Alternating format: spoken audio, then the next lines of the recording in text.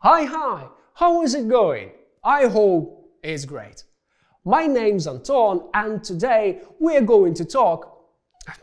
Wait a minute, I need to finish this. Today, there is a very popular job, an Instagram blogger. But it's not as easy as I thought. Because a blogger is a person who not only keeps a blog, but also takes beautiful photos. And uh, I don't really like all the photos that I've taken today. Maybe there is a problem with my phone, which is very old. Or I just haven't got any skills which are necessary to be a blogger. So it's quite an interesting job, but let's talk more about jobs and relative pronouns. What are they? Just have a look at the sentences you've just heard. A blogger is a person who not only keeps a blog, but also takes beautiful photos. And I really don't like all the photos that I've taken today. Maybe there is a problem with my phone, which is very old. Or I just haven't got any skills which are necessary to be a blogger. The words in bold are called relative pronouns. They are used in relative clauses which you have already learned and help us to give some more additional information without making a new sentence. Today we are learning who, which, and that. Let's see in which cases we use each of them. We use who for people. We use which for animals and things. We use that for people, animals, and things in defining relative clauses. Who or which are also possible. Let's have a look at two pictures.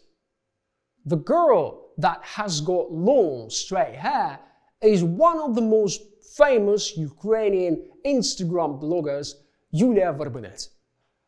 In picture one, we see two girls, and I want you to know which one she is. She's got long, straight hair.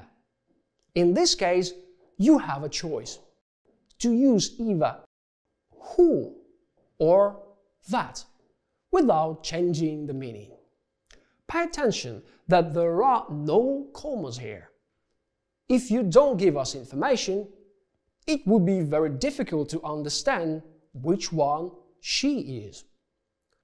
In picture 2, there is only one girl. We just want to give some more information about her. She's got long, straight hair, but this information isn't so important. And if we don't tell it, the sentence will not change its meaning. In this case, you might use who. Note also that we use commas here. Do you like riddles? I'll read you a description of a person or a thing, and you need to guess it there can be several answers. Don't forget to pause the video if you need more time to think.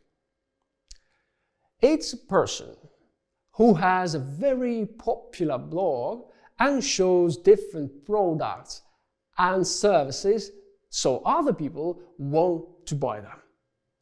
Influencer. It's a person who can create a beautiful design of a house or flat. Interior designer.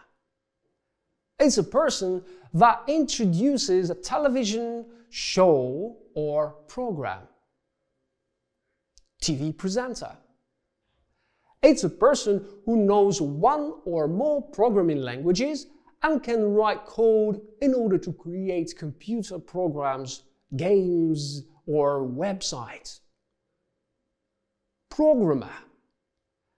It's a word which we use to talk about Instagram bloggers' readers.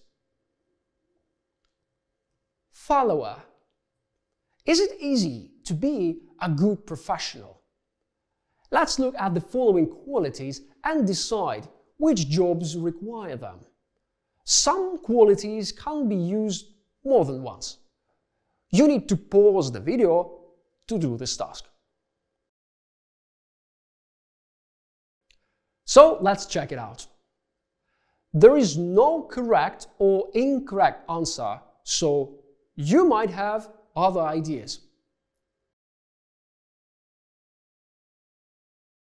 A good judge is a person who is fair, punctual, honest. A good police officer is a person who is brave, disciplined, active. A good journalist is a person who is honest, smart, skillful. A good psychologist is a person who is caring, careful, sociable.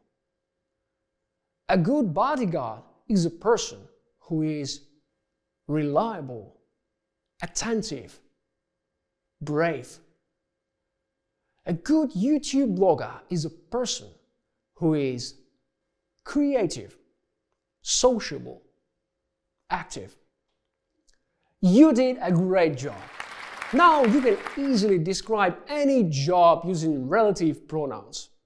Have a good day and see you soon in our new video lessons. Bye.